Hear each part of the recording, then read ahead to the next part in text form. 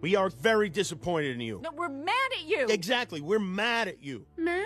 You need a timeout. You're grounded. Yes, grounded for two, Three. three days, Weeks. weeks, three weeks. For three evers. I wish you'd never been born!